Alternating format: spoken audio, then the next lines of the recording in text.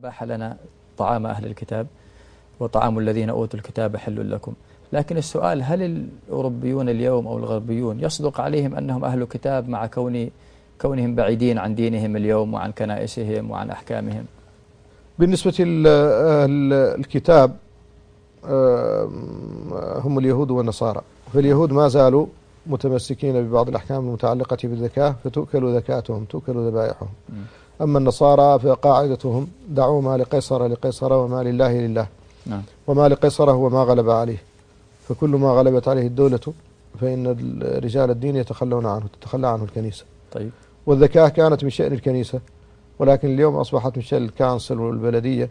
نعم. فلم تعد للكنيسة عليها يد ولم يعد لها بها اهتمام. فلذلك لا تؤكل ذبائحهم اليوم لأنها ليست من ذبائح أهل الكتاب ولا من طعامهم. دقيق أحرر المسألة في جهتين. الجهة الأولى ما أباحه الله عز وجل من أهل الكتاب هو ما ذبحوه. نعم. وليس ما قتل بغير الذبح. هذا هذه المسألة؟ فيها خلاف. مذهب الجمهور هو ما ذكرته. نعم. أن المقصود ما يستبيحون به. والذكاة كما عرف في الإسلام عندنا أربعة أقسام. طيب. هي الذبح والنحر والعقر وما يموت به نحو الجراد. نعم. فالذبح هو قطع الحلقوم والودجين من المقدم قبل التمام بلا رفع قبل التمام. والنحر هو الطعن باللبة والعقر هو الطعن في مقتل بما له مور نعم. ينهر الدم. وما يموت به نحو الجراد سواء كان نارا أو مثقلا إذا ضرب بعصا أو بأي هذا شيء. كله مبيح. هذه الأربعة هي المبيحة في الإسلام هي الذكاء طيب. في الإسلام. بالنسبة للمذكى ينظر فيه من أربعة أوجه الوجه الأول جهة الذكاء. نعم. آه،. فيما ذكرنا هذه الأقسام الأربعة. الثاني المذكي فلا بد أن يكون ممن يناكح معناه من المسلمين أو من اليهود أو من النصارى. طيب. آه، الثالث آه، التسمية ذكر اسم الله عليه. فهذا آه، لا بد منه في زكاة المسلمين. وغير المسلمين إذا لم يذكروا اسم الله أو ذكروا سمى المسلم آه، عليه ذاك. نعم فالمسلم يسمي عليه كما في حديث ال- النبيط الذين كانوا يأتون من الشام ولهم لحمان فيبيعونها. فقالوا إنهم لا ندري هل ذكر اسم الله عليه أو اسم العزير أو اسم المسيح. فقال آه، اذكروا اسم الله عليه وكلوه. طيب والرابع وكذا الرابع آه، النوع المذكى الحيوان المذكى هل هو مما ينتفع بذكاته أم لا؟ لا بد أن نعرف اللحوم التي تباع هل هي خنزير أو كلاب أو نعم. بهائم ممنوعة الحمر الأهلية أو غيرها. طيب آه، كذلك من المهم هيئة الذكاء. فهيئة الذكاء لا بد أن تكون معتبرة في الدين الذي هم فيه. فمثلا اليهود لهم هيئة معينة للذكاء مثل هيئة المسلمين والنصارى كذلك. وقد اختلف فيما سوى ذلك فمذهب الجمهور أنه لا تحل الذكاة بما يستبيح به من غير ما هو وارد في دينه.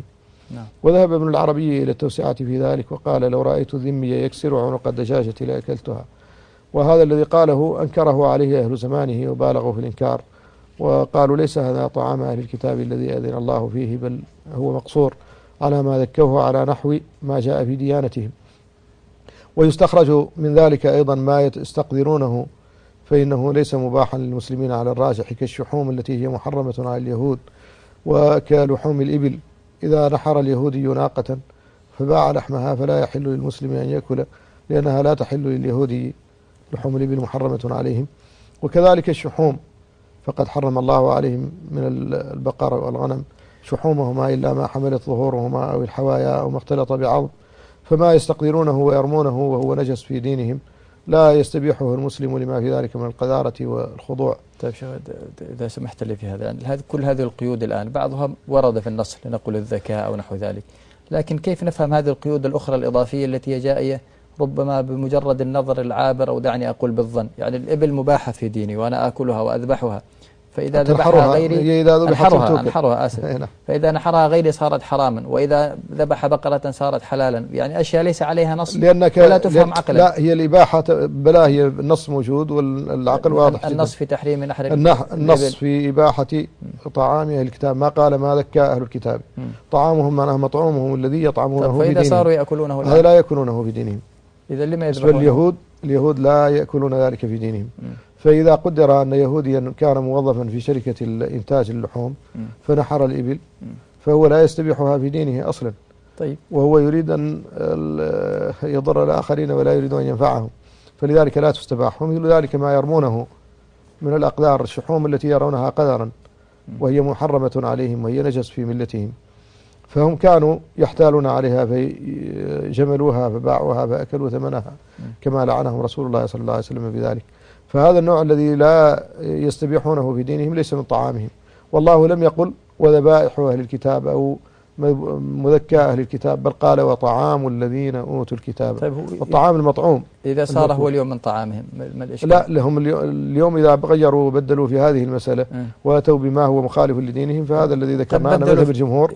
أنه لا يستباح إلا ما أحله لهم دينهم فهو طعامهم. وأن ما آه، ذبحوه بغير الطريقة المعهودة في دينهم لا يستباح إلا عند ابن العربي كما ذكرنا. اليهود والنصارى في زمن النبوة كانوا قد حرفوا في دينهم حرفوا في غير الذبح.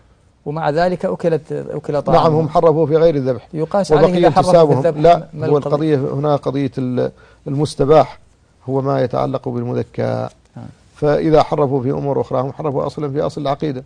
نعم. لكن مع ذلك بقي الاعتبار وهذا الاعتبار ليس اعتبارا لأصل دينهم وإنما هو توسعة على المسلمين كما قال القرطبي رحمه الله فيقول إن الله لم يحل المحصنات من أهل الكتاب تشريفا لهن وإنما أحل ذلك توسعة على المسلمين طيب فهم مثل غيرهم من المشركين فيما يتعلق الآن. لا ليس حرجا هم مثل غيرهم فيما يتعلق بالشرف فإن الله تعالى يقول في سورة البينة إن الذين كفروا من أهل الكتاب والمشركين في نار جهنم خالدين فيها أولئك هم شر البرية.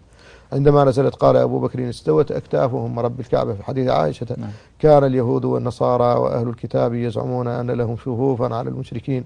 حتى نزلت سورة البينة فقال أبو بكر استوت أكتافهم رب الكعبة. طيب فلذلك آه، ما يستباح من طعامهم هو ما هو مباح لهم في دينهم. وإن حرفوا وبدلوا في أمور أخرى غير الذكاء. واليوم كما ذكرنا آه، أصبحت أصبحت الذكاء تابعة للحكومة. للحكومات. وأصبحت شركات الإنتاج يعمل فيها غير أهل الكتاب أصلا. يعمل فيها البوذي والسيخي والهندوسي واللاديني والوجودي والشيوعي. فهؤلاء جميعا من لا دين لهم مثل غيرهم فهم مواطنون ولهم فرصة عمل. نعم. بل الغالب في المتمسكين بالديانة من اليهود والنصارى لا يمارسوا المهن الخسيسة لأنهم في بلادهم مرفهون منعمون ولهم أعمال أخرى أكبر من ذلك. هذا في الغالب. ولذلك فكثير من عمال المؤسسات مؤسسات الإنتاج الذين يباشرون الذكاء كثير منهم هم من شرق آسيا من الفقراء والشعوب المستضعفة لأنهم يبحثون عن اليد العاملة الرخيصة. الوثنيين. إي نعم.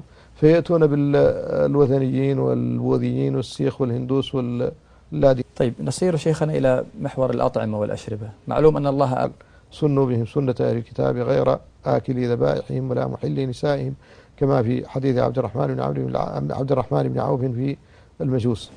طيب إذا كنا توقفنا عند لفظ قوله تعالى طعام ولم ندخل فيه ما لا يأكلونه فمن أين جاء اشتراط الذبح؟ هذا طعام كان مذبوحا فإن كان مطعومهم غير مذبوح. لا هو لابد أن يكون مذكا لأن المطعوم هنا غير المأكولات غير ما يذكى من الحيوان على أصل الإباحة. هذا لا, لا نقاش فيه. نعم. خبزهم وبيضهم وهذا لا خلاف في أصله. لكن الخلاف هنا فقط هو في ما ذكوه ما يستباح بسبب فعل منهم. أما ما أنبته الله لنا في الأرض وما ما صنعته أيديهم. وإن طبخوه. وإن طبخوه هذا أيضا ما صنعته أيديهم ذبحوه فقط. لا هي قضية الذبح هي الإباحة. م. إنما جاءت الاستباحة من قبل التذكية. ولذلك فاليوم آه الشيخ محمد سالم رحمة الله عليه سئل عن ذبائحهم وهو في طائرة فرنسية وما يقدمونه من الطعام. فقال تفاحة جنية لتوها خفيفة مثل طعام شوها حاصل ما اقتضى نصوص المذهب تحريم لحم أورب المعلب. فإن تقل أهل كتاب قلت قد شاع إلى الإلحاد منهم ملتحد. ولو فرضناه فهم يلغون ذكاة ما من ذاك يأكلون ولو فرضناها أي الذكاة فهم على الأقل غابوا وأكل الميت فيهم مستحل. قلت ومن أحس مس السغب فيهم؟ يقول وآية العقود في طعام أهل الكتاب حجة الإقدام. وحجة الإحجام قل مأخوذة مما اقتضته آية الموقوذة. والحزم الاكتفاء